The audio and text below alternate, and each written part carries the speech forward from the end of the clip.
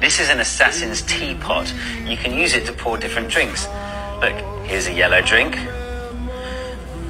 Here's a blue drink. And you choose the drink by covering up uh, this hole or this hole. To show how it works, I've built a 2D transparent version. So look, if I cover this hole here, the blue liquid can't get out.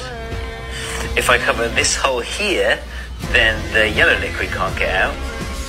And actually, there's a third drink I can have if I uncover both holes. So I get a green drink. The Assassin's Teapot.